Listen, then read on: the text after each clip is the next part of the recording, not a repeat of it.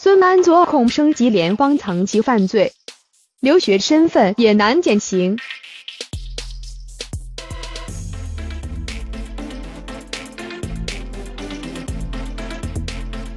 孙安佐事件恐怕会升级成联邦层级犯罪。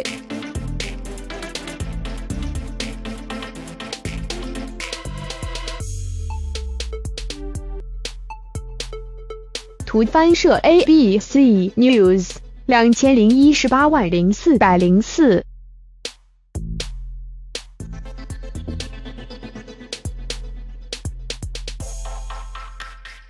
迪英的儿子孙安佐日前在美国宾州扬言到学校开枪，警方介入调查后，又搜出一千六百多发枪弹和手枪、防弹背心等物品。让本案立刻从宾州州法的恐怖威胁罪升级成恐涉跨国或跨州恐怖攻击罪的联邦层级犯罪。由其他囤积的弹药中有 AR 十五子弹，这是美国重大枪击案中枪手最常使用的，也对孙安佐事件最不利。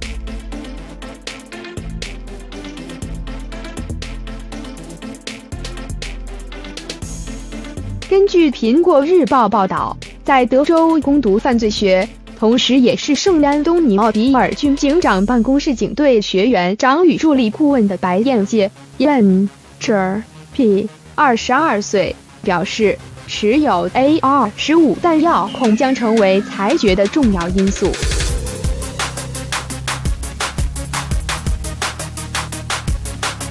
因为 AR 十五有被诅咒枪支之称。近年来，美国的重大枪击案，枪手都是使用 AR 十五。由于这款枪支价格便宜，短时间内可快速激发，成为恐攻枪手首选。因此，孙安佐虽然尚未被找到枪支，但囤积 AR 十五的子弹，加上放话扫射校园，已经让检警无法认为他只是开玩笑而已。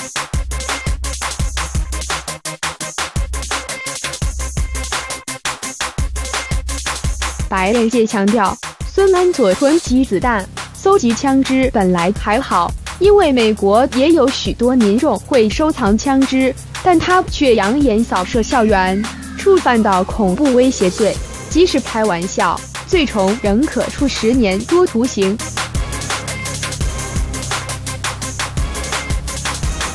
尤其美国法院通常采用遵循先例 （stare decisis）。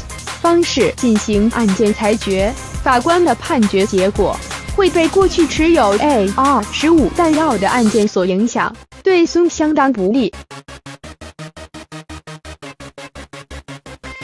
尽管他是留学生，但在之前，美国没有让法官可考的依据酌轻量刑，因此减刑可能有困难。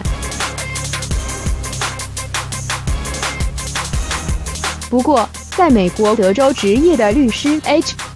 C.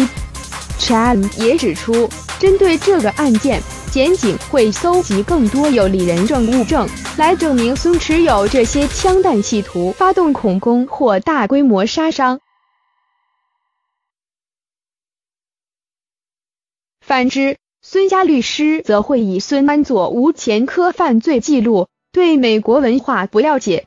枪械收藏并未实际造成损害事实来做攻防。